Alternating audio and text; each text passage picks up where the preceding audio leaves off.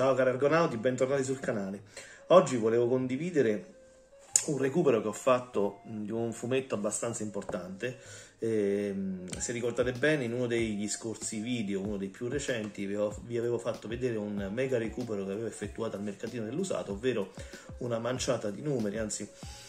un numero consistente di, di numeri, appunto, di albi eh, di Mr. No che avevano innescato appunto dato origine a questa mia ormai eh, ricerca e quindi eh, recupero di questa, di questa, serie che mi sta piano piano appassionando e, e quindi non potevo non recuperare il magnifico numero 1 di Mr. No bellissimo nella sua bellissima edizione originale quindi questo è il numero 1 originale precisamente del giugno del 1975 quindi questo è un albo che ha 46 anni e devo dire che per l'età che ha ho recuperato un'edizione abbastanza in eh, buone discrete condizioni, a parte forse questa piccola pieghetta sulla quarta di copertina, però per il resto devo dire che è in perfette condizioni. Una copertina ormai famosissima che non ha bisogno di presentazioni, veramente stupenda nel suo disegno di Gagliano Ferri e nel suo lettering così se vogliamo artigianale con questa scritta Mr. No e questo urlo bellissimo con scritto un nuovo esplosivo personaggio perché per la prima volta come vi accennavo anche all'altro video nell'altro video questo è um, Sergio Bonelli eh, ovvero alias Guido Nolitta eh, fa eh, diciamo da aprivista eh, esordisce con un personaggio diverso dai canoni che fino allora avevano solcato le pagine della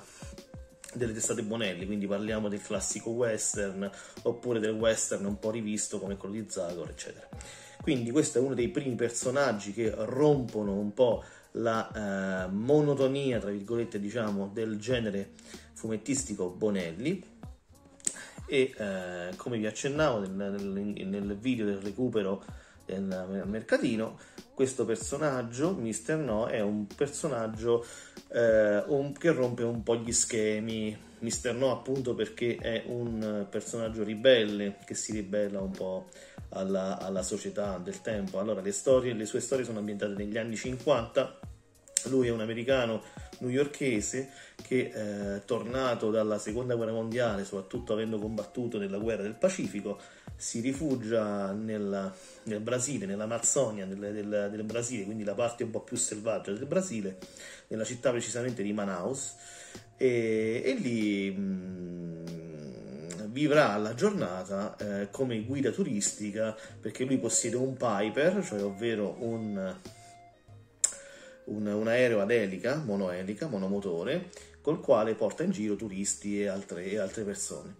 La prima avventura che mi sono scorpacciato in veramente in una mezz'oretta, l'ho letta perché ero molto curioso di vedere, di leggere il primo numero, è eh, tanto semplice quanto bella. E eh, leggendola si vede che mm, Bonelli si rifà molto a quelle avventure americane esotiche un po' degli anni 30, degli anni 40, così immerse un po' nella, nella macchia delle foreste, delle giungle del Sud America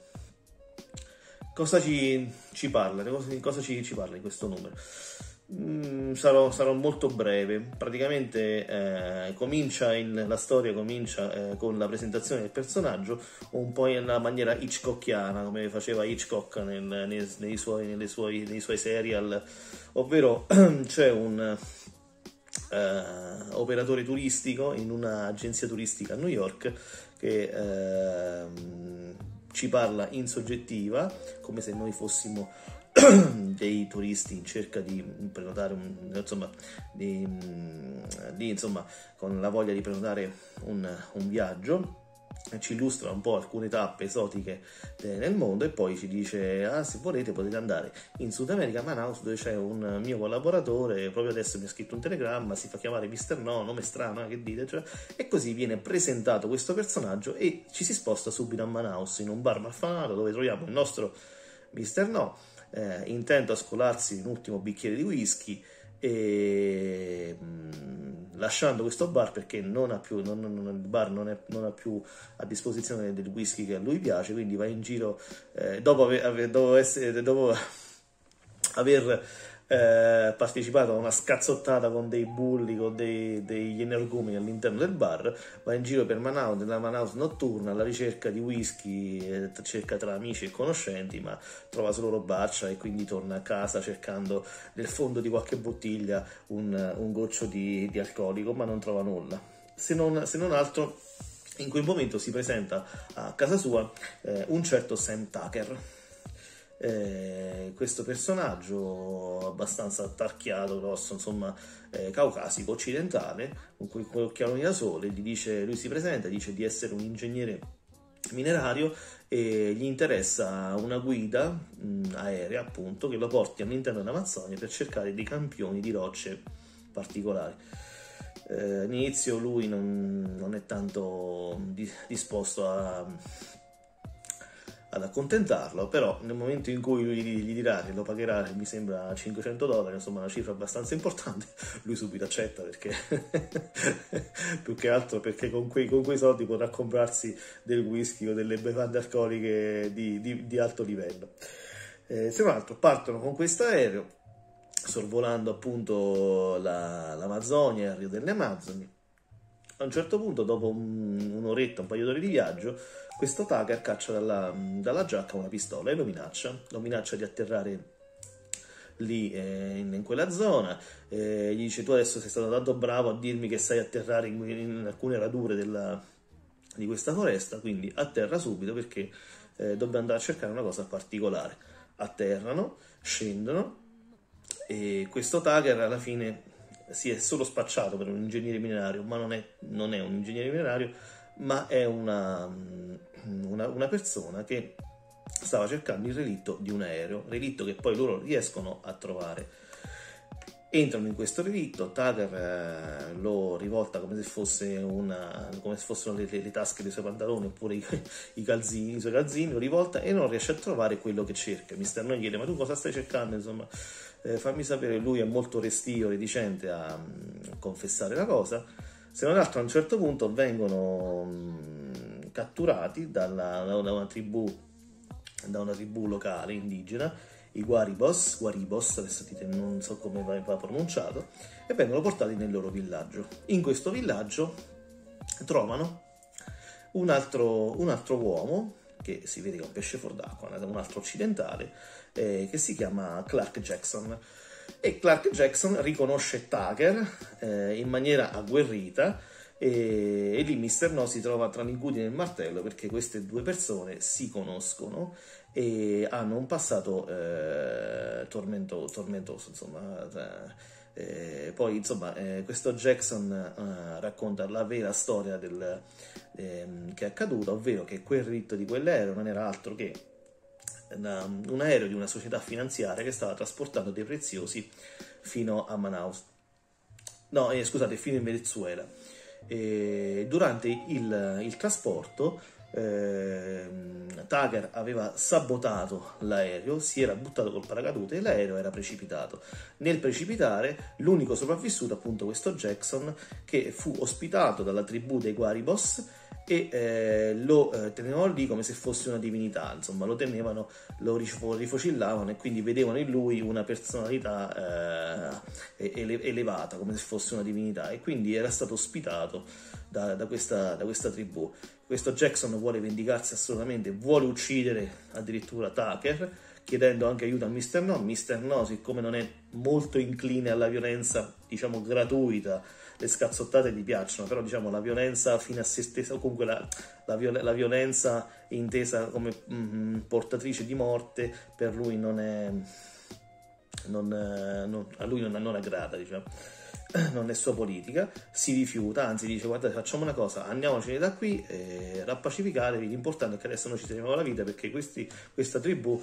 eh, non, ehm, non, è che sia tanto, tanto gentile. Eh, va bene, preparano i bagagli, partono, e lui dice guarda io ho il Piper parcheggiato a, eh, a qualche miglio da qui, eh, lo riprendiamo, decolliamo e ce ne andiamo. Escono dalla, dalla, capanna, fanno qualche metro, vengono beccati da un indigeno che gli lancia una freccia e quindi tutti quanti, ah, tutti addosso, gli vanno tutti addosso, tipo Indiana Jones quando scappa dagli indigeni del Sud, del, del Sud America. E, mh, scappano nella, nella, foresta, a un certo punto si dividono, Jackson gli, mh, gli propone di dividersi e gli dice guarda facciamo una cosa, eh, io ho capito più o meno dove, dove, mh, dove è collocato l'aereo, voi passate di qua, io di là, ci dividiamo così eh, loro non li, li, li, seminiamo. Partono, eh, però a un certo punto Mr. No e Tucker eh, cadono nelle sabbie mobili, quindi si trovano intrappolati nelle sabbie mobili e passano eh, dei minuti di terrore, se non che a un certo punto a Mr. No viene il lampo di genio, si toglie la, la, la, la, camicia e la giacca, la fa togliere anche a Tucker, la, la lega ne fa tipo a mo' di corda la, getta, si aggrappa ad un albero e si tirano fuori da queste sabbie mobili. Capiscono che ta- eh, Jackson li ha traditi eh, per poter prendere l'aereo e scappare. Eh, e scappare da solo. Ah, perché scusate, mi sono dimenticato la cosa più importante. Perché lo scopo di Tucker era recuperare dal relitto dell'aereo uno zaino pieno di preziosi, appunto, di diamanti questi diamanti invece li aveva prelevati Jackson e Jackson li portava con sé e quindi voleva scappare con l'aereo. Raggiungono il Piper di nascosto e vedono che c'è Jackson accovacciato sulla ruota del Piper, vanno per salire e vedono che Jackson è morto, è stato trafitto da alcune frecce. Non fanno in tempo a, a comprendere questa cosa che vengono subito assaliti dai, dagli indigeni si rifugiano sotto l'aereo, c'è uno scontro tra eh, frecce, lance, giavellotti e mitragliate, pistolate, dopodiché riescono a salire sull'aereo e scappa, fuggono via. Durante il tragitto, chiaramente Tucker cerca di far ragionare Mr. No di portarlo dalla sua, Mr. No gli dice no basta io ti porto a Manaus e ti, e ti porterò e ti consegnerò le forze dell'ordine perché eh, chiaramente sei un criminale e hai architettato tutto questo piano quindi non sei una persona da lasciare libera Tucker a questo punto ehm, prende, prende, in mano un mitra e lo minaccia dicendogli guarda io adesso tu verrai con me non sei voluto stare a patti non hai voluto accettare i miei soldi benissimo adesso vieni con me ci sono due soci che mi stanno aspettando eh, risalendo il Rio delle Amazzoni mi stanno aspettando a nord del Rio delle Amazzoni scendiamo lì infatti lo fa atterrare lì c'è una, un battello con due scagnozzi due soci di, di Tucker eh, port- gli, Tucker gli fa portare i diamanti a bordo e lo fa minacciare da questi due altri soci che gli puntano addosso una, le, le, le, armi, quasi come se lo volessero condannare a mo- uccidere. Se non altro, Mr. No con un, es- con un espediente eh, si fa portare una bottiglia di whisky, gli dice a questo punto almeno fatemi bere un po' di whisky, si fa portare il whisky, eh, lancia una bottiglia di whisky contro uno, quello cade, perde il mitra, lui lo prende, insomma spara verso Tucker e quest'altro, gli fa fuori e la storia, ahimè, finisce così perché come era usanza delle storie Bonelli di quel tempo, eh, la storia prosegue nel, nell'albo successivo, ovvero Amazzonia il numero 2, albo che devo recuperare al più presto perché voglio vedere come va a finire questa, questa avventura. Eh, vi faccio vedere un po' di tavole, un po' di disegni tratte da, da, questo, da questo albo che sono veramente, veramente belli. Allora, ecco la bellissima copertina, vi faccio vedere l'intro, vi dicevo appunto, all'inizio c'è questo eh, agente di viaggi che presenta indirettamente il nostro personaggio, eccolo qui, e poi Eccolo qui che esordisce il nostro, il nostro Mister No all'interno del bar dove viene minacciato da vari energumeni, scazzottata. Lui esce, va in giro per Manaus alla ricerca insomma del, del suo drink, rientra a casa, cerca, cerca, un po' di alcol ma non lo trova perché l'ha già finito tutto e arriva, ecco qui Sam Tucker, questo qui è Sam Tucker che si spaccia per ingegnere minerario Partono con l'aereo, il suo Piper, eccolo qui. In aereo, vedete, viene minacciato, con la pistola alla tempia. Atterrano, ecco, vanno alla ricerca del relitto, trovano, vedete qui, trovano il relitto, ma dentro non ci sono i diamanti.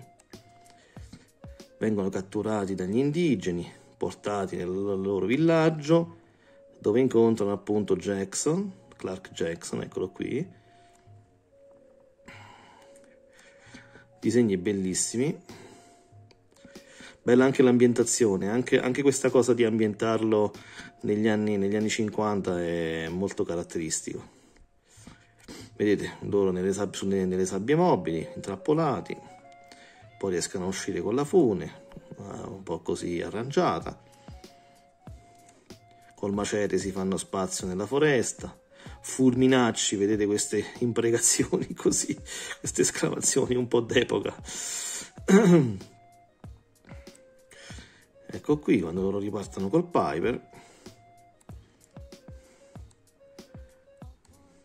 ma devo dire che i personaggi sono stati caratterizzati molto molto molto bene. E questo è un personaggio che nonostante io legga fumetti da tanto tempo ho scoperto da poco sinceramente, eh, però mh, sono, sono, contento perché queste sorprese eh, ti danno la voglia di, di, di, di, conoscere e scoprire mondi nuovi, personaggi nuovi, ecco lui insomma che disarma l'avversario e poi eh, prende il mitra, fa fuori tutti e che finisce così il prossimo numero Amazonia. Bene cari argonauti, mentre vi faccio rivedere il mio numero 1 che adesso ho imbustato con il cartoncino e che quindi non uscirà diciamo molto presto da questa busta perché lo vorrò conservare il più tempo possibile, eccolo qua, bello spiattellato e sigillato. Io vi ringrazio per avermi seguito, spero che questo video vi sia piaciuto e vi abbia incuriosito, seguitemi ancora per i video a venire e iscrivetevi, cliccate sulla campanella per avere novità, mi piacciate il video e commentate, fatemi sapere cosa ne pensate. Ciao, alla prossima!